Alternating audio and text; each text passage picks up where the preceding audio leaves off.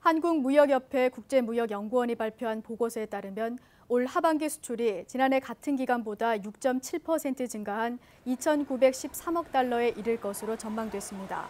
수입 역시 8.5% 증가한 2,772억 달러로 예상돼 무역 수지가 141억 달러 흑자를 보일 것으로 나타났습니다. 품목별로는 지난해 큰 폭의 하락세를 보였던 선박과 공급 불안이 이어졌던 자동차 수출이 회복될 것으로 전망됐습니다. 반도체와 무선 통신기기 등의 IT 품목 역시 상반기에 이어 하반기에도 우리나라의 수출 증가를 견인할 것으로 예상됐습니다.